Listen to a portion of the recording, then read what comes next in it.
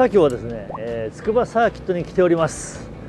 今日は、えー、86祭りというイベントが行われてまして私、えー、ヘルメットもスーツも何も持ってきておらず、えー、見に来ました。あの僕自自分が走りもせずに筑波に来るのってほぼ初めてかもしれない。今日はね、まああのたくさんの AE86 だったり、あのなんだろうな、GR86 だったり、まあ、ZN68 いわゆる86という車たちがですね今日はたくさん集まってます。で僕自身もともと AE86 乗りですしそして今ねあの自分のトレノを作ってるところもありますし今日ねこの中をいろいろ見て自分の車のね参考にしたいと思います。それではチェックしに行きましょう。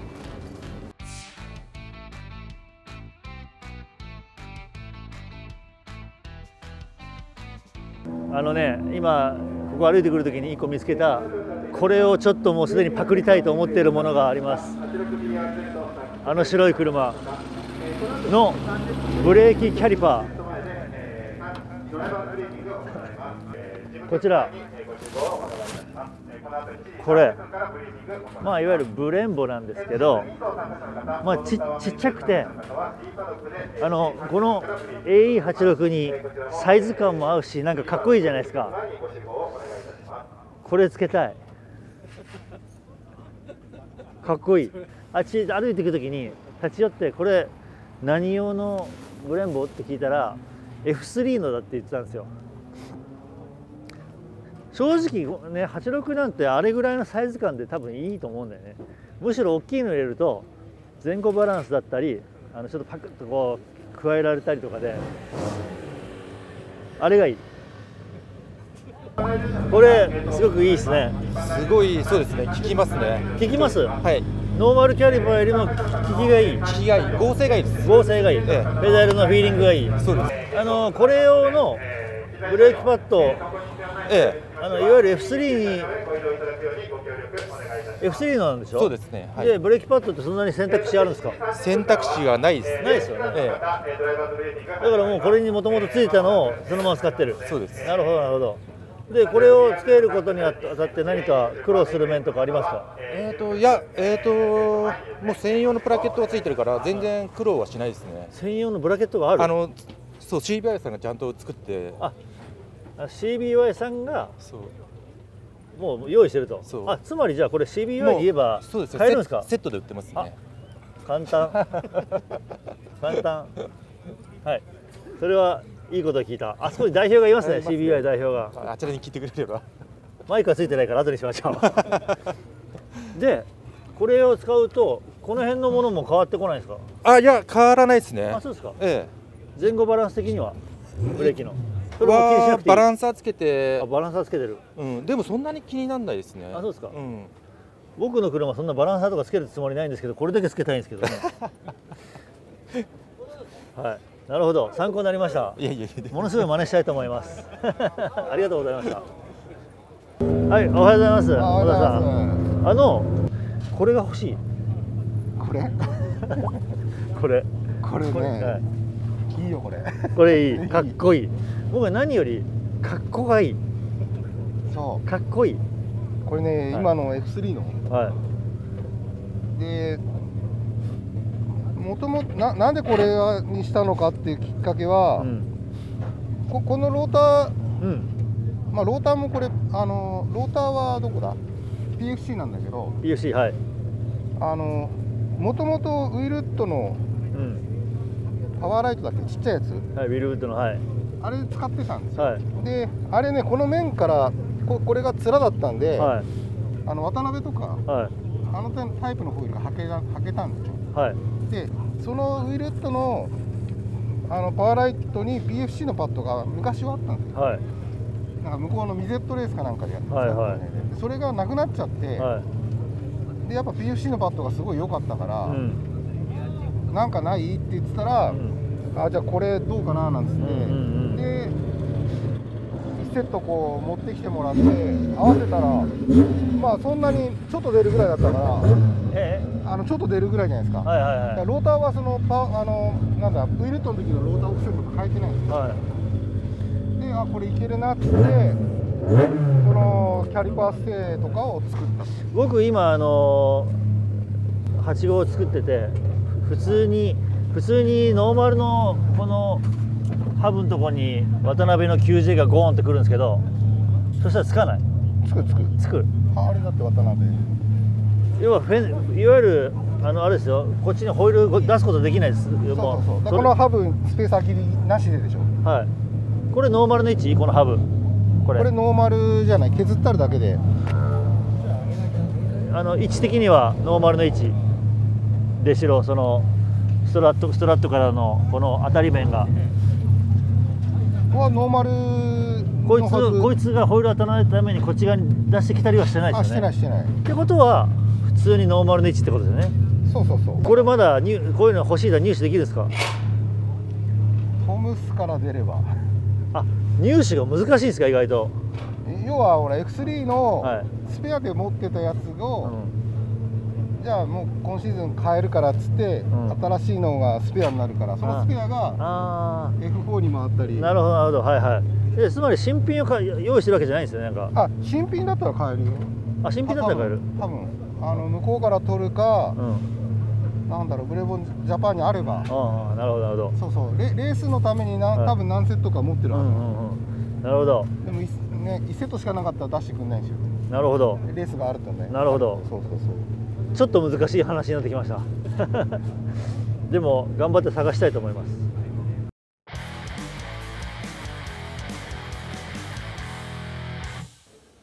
これヘッドライトも変わってるよね。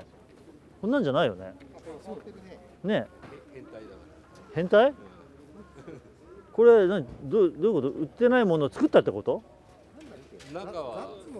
はい。オーナーさんをもう一回呼びましょうか。ドラミ行ったかな？ホンダの K のザッツっていう車のヘッドライト？を中身を？ビーズインして、でうん。これはうん。小田さんが作ったのかな？アクリルかなんかでへえ。いろいろあるね。そこに気がついた俺が偉いね。これは6速ミッションかな？アルテッツァアルテッツァのミッション？小田さんのところの。小田さんとこの。俺ぐらいだったらもう見たら分かんだよもう シフトレバー見るだけで分かっちゃうそうそうそうそう。まずねちょっとシフトがちょっと斜めに傾いててあのバックギア用のこのつまむやつがあるでしょ？だからあれはもうアルテッツァが6速ミッションだなってことが俺ぐらいになったらね分かるんですよ。一目見ただけで、はい。さすがですね。T50 じゃないなと。さすがカー・オブ・ザ・イヤー先行。ええもうもうはい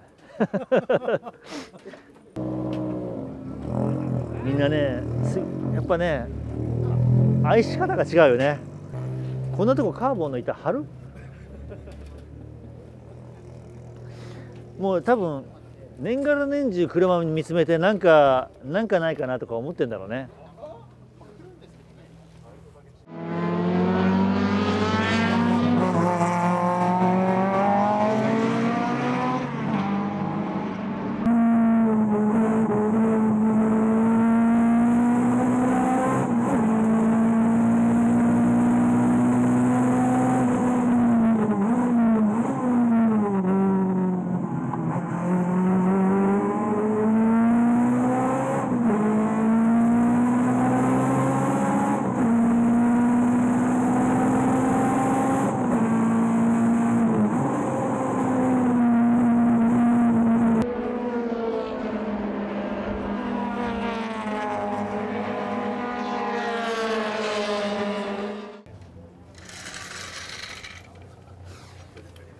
さちょっと勝手に開けちゃうけど。あんなとこさここ。ここ。カーボンにする？かっこええやんけ。かっこええやんけ。まさに谷口さん好みの。そうなんだけど内装を取ってる車のみのできる荒技だよね。来るよね自分好みに。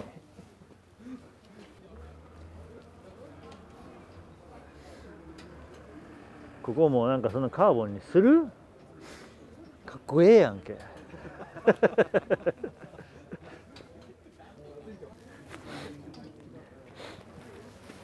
見てんここ。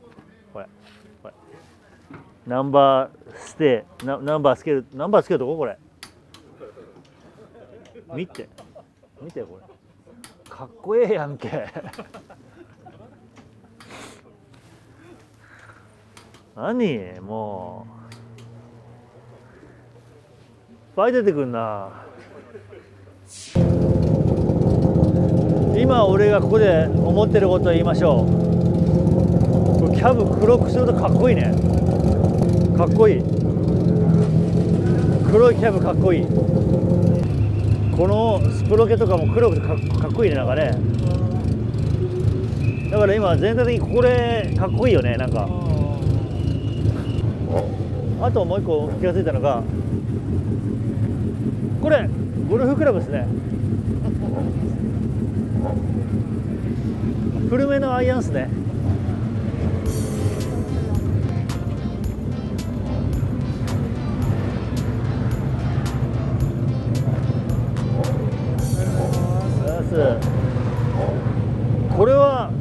ですか？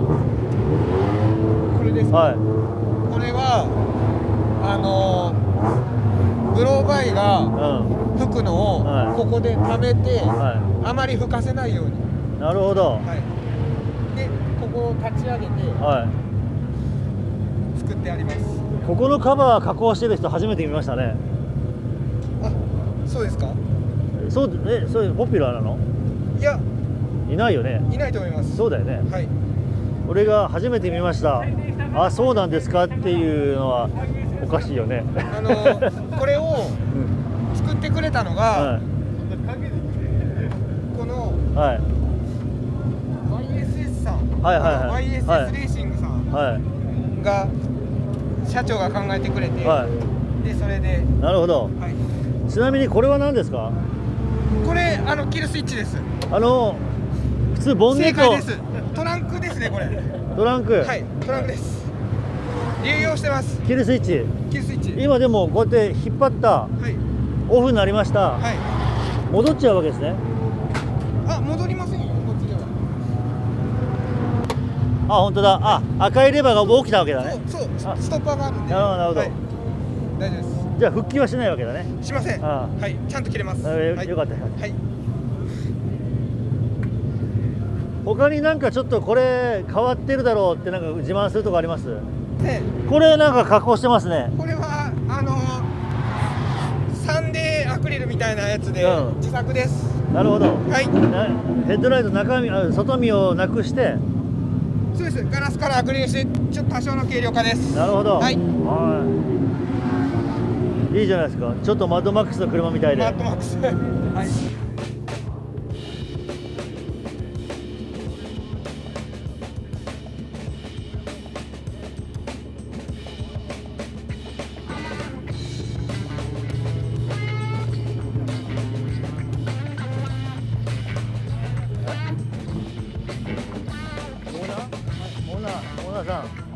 質問していいですか、はい、はい。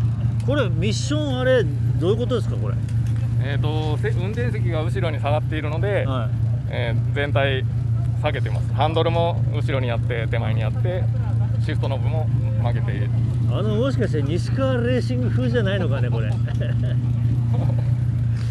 西川レーシングって知ってる？ああ聞いたことはありますけど。こんな感じなんだよね。えー、なななんで下げたかったの？えー、とあのペダルボックスにするのにうん。下げざるを得ないんですよ。ああそうなんだ。ここにブレーキマスターがあると、うんこのボックスがつけられないので。これこれこれどういうこと？これ。はいこれあのエアボックスなんですよ、あのパネルをはい。囲ってあげてるだけです、はいはい。でここのそう。マスターとか取りたかったから。そうですそうですそうです。これを外したかったので、はい。全部室内に移動したと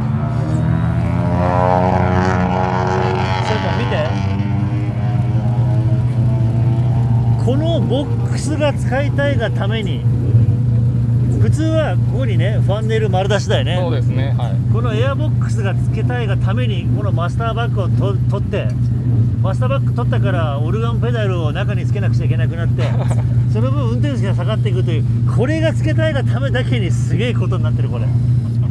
そうですそうです。これで馬力上がるんでそのために全部そうですそうです。もうしわ寄せが。そうですそうですどれぐらい上がる上がるんですかこれで？15馬力ぐらい上がる。15馬力、はい。えこれなんなん普通に 4AG? 4AG です。他になんか普通の俺たちが知ってるのと違う仕様に変えちゃったとこなんかあります？えー、なんいっぱいありますけど例えば T50 普通のあのオリジナルのミッションなんだけど、あのーフラットシフトやってます。前回のまま、あそうなの、はい。ちょっと開けて。いいはい全部ご自身でやられてるんですか、はいこういうの、は？いはい。かなりの変態度合い高めですね。まあまあはい。あここに。あそれはあこれバック。シフトパターンがうん。な話せば長いですけど 5速の位置にローギアがあるんですよ。メカドックみたいじゃん、なので、う走行中あっちに行かないように、うん。あのロックをつけてそうロックをつける。ただそれだけです。シフトセンサーはどこに？シフトセンスそのパドルのためのはこれですああパえ？これですね。パドルシフトなの？これ。いやいやパドルそれを操作しながらん。チェンジすると。そうすればクラッチを踏まないでいい。あーあれがクラッチの割りそうそう役目をして、はい、全フラットシフトやるためのスイッチです。えー、かなり変態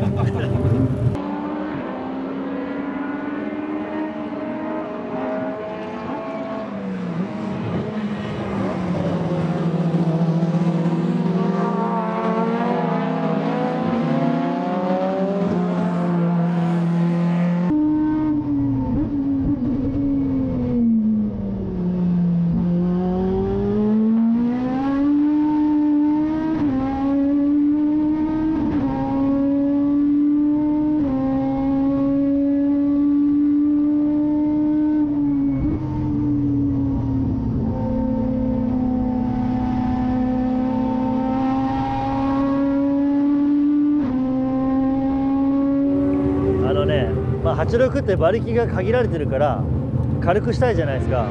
だからあの辺のねなんか肉抜き？ドリルで肉抜きして軽くしたいのは分かるんですよ。あの地味な努力？見てこれ。もうほんともうねどこどこ抜けるかなってもうずっと探してんだろうね。ホールスを持ってもうどこ抜いてやろうかっつって